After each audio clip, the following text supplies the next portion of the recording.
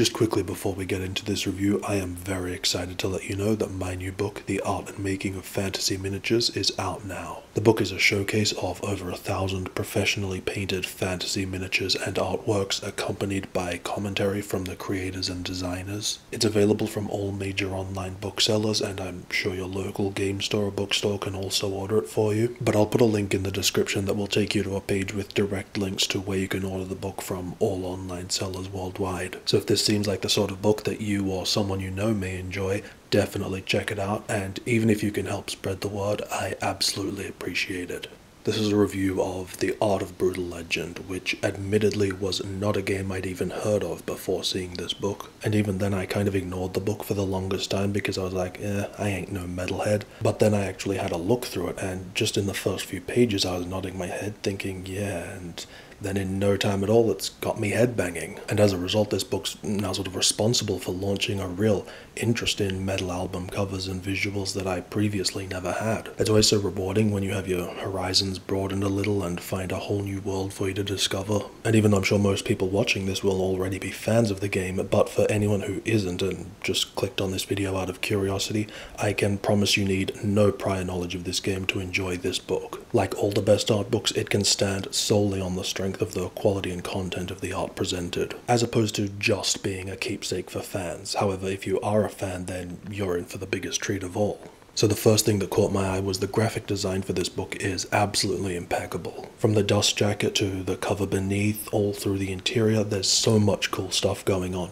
Shiny chrome ink everywhere, even for a lot of the background sketches, blood spatters, scratches, just ink and textures and lines and grit everywhere. It's really well done. And I mean, the reality is, all these background graphics are just an illusion of content, since in and of themselves they're largely uninteresting. But it makes the book look and feel a million times better than just dreaded blank space, which otherwise would have been a huge issue for this book. So just having those graphics, which like I said, really just amount to background noise, is actually responsible for a lot of my positive feelings towards this book. Because I just love seeing when the effort has been put into making sure that the design of a book is being used to complement the main visuals and create a much stronger, more tailored experience. As opposed to art books that just slap the images on a white page and call it a day. And there's not anything wrong with that approach, as long as the main event is good, you don't necessarily need a cherry on top. But if you are willing to go that extra mile and have the design for the book enhance the vision, then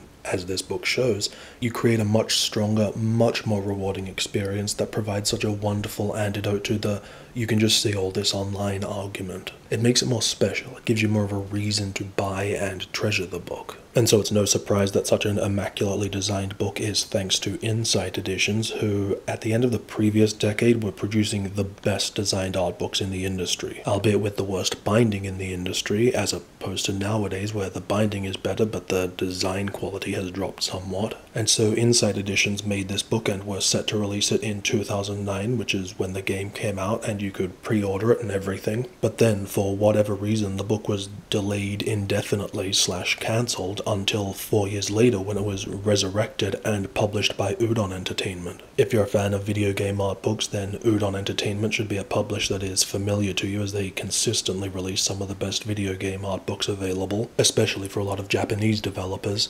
I'm never sure how much design work they do versus just translating and distributing the books. In fact, I emailed them three times about that and received no response, but at the very least they have a good eye for what books to publish. One thing I noticed they dropped the ball on was the page numbers. I get the impression they're supposed to be styled like a timer on a music player, or maybe it's meant to be like how biblical verses are referenced. Whatever the case, it's a really cool idea, but they screwed it up. It doesn't make any sense since timers go to 60, not 100 it hasn't been implemented correctly anyway and contradicts what's on the contents page. This isn't an actual criticism and shouldn't have any impact on your opinion of the book. The page numbering is still completely functional and easy to reference like a normal book, but I just wanted to mention it for the sake of pointing out a goof. One thing that may not come across very well in this video is just how big this book is. It's a square foot, which I can only assume was a very deliberate decision so that it would be the same size as a 12 inch album cover, which is just complete novelty but in the best possible way.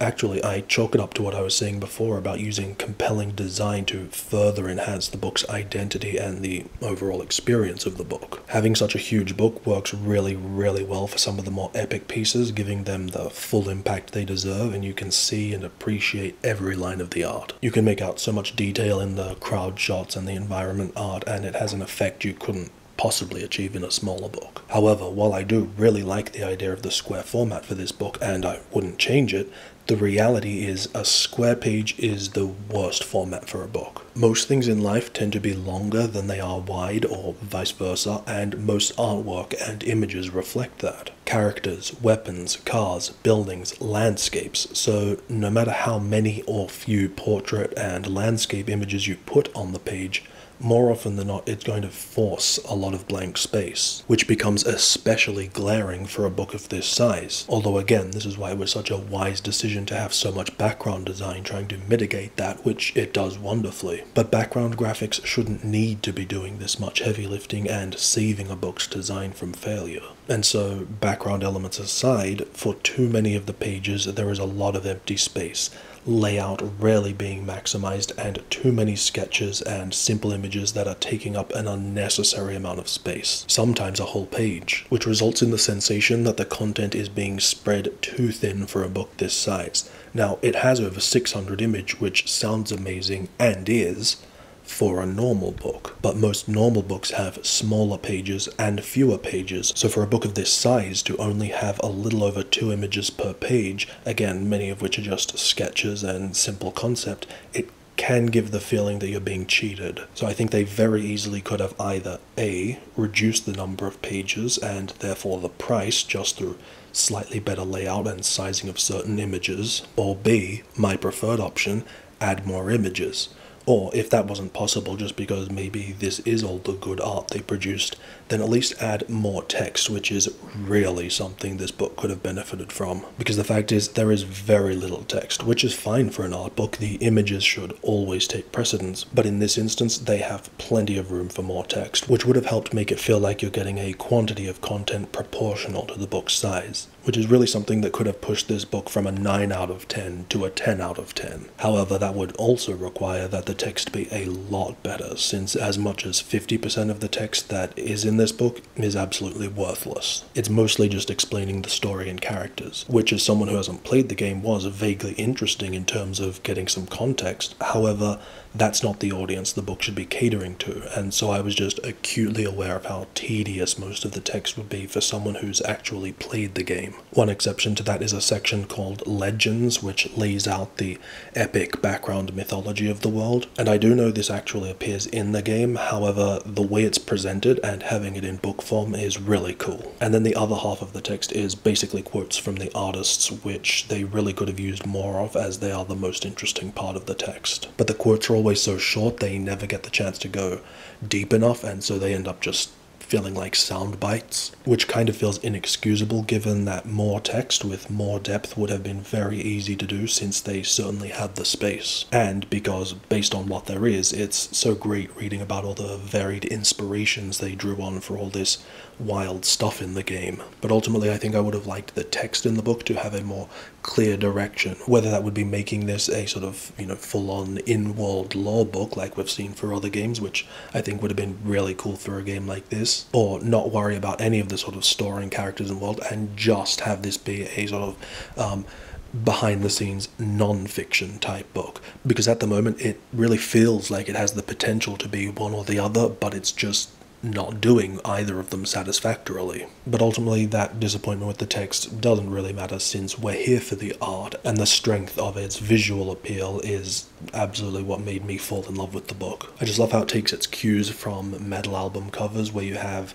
artists cherry picking different genres for their most badass visuals to create this eclectic, larger than life vision. It doesn't have to make sense, it just has to be awesome, and the art in this book does just that. Every time time you turn the page, you're just hit with something that is just so cool. Obviously, the ultimate way to experience this book is with an appropriate soundtrack accompanying it, but that may result in a braingasm too intense for mere mortals. In fact, since this book is trying to be so evocative of an actual album, and as we've established, it has the space and needs the content, it would have been really cool to have a running playlist throughout the book to get an idea of what the artists were listening to when they created the art which is actually something I did with my first art book, Rockabilly Psychobilly, which, now that I mention that, I think one thing I really responded to, despite not really being a fan of metal before coming to this book, is that The Art of Brutal Legend, while thematically different from my book, shares a very similar lowbrow spirit of being hardcore, but also not taking itself too seriously. Presenting more adult themes, but in a cartoonish style, is something that I think is just so much fun. Lowbrow, cartoon, fantasy, and horror art are my absolute favorites, and this book has all of that in spades. In fact, I was trying to think of some recommendations to go with this book,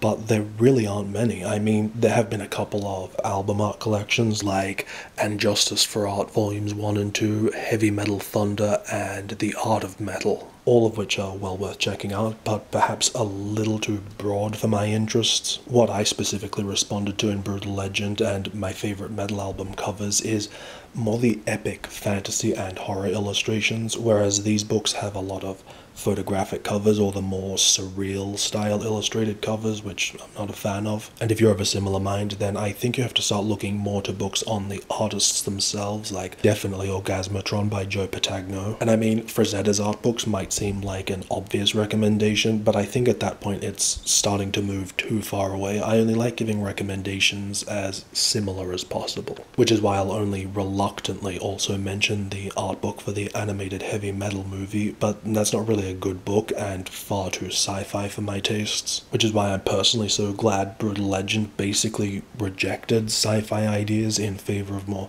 sword and sorcery and gothic horror aesthetics. But maybe there are some better informed metalheads who can let us know in the comments of any other book recommendations. But I think in terms of the specific look and feel and energy, this art book is really in a class of its own, which is why I'm really surprised there hasn't been a sequel yet because it's still such fertile ground for a game. I mean, even a Brutal Legend comic or definitely a miniatures game would be awesome, but even as someone who has never even played the game, I still have my fingers crossed for a sequel, however unlikely that may be at this stage, just for the possibility of getting another art book as incredible as this one.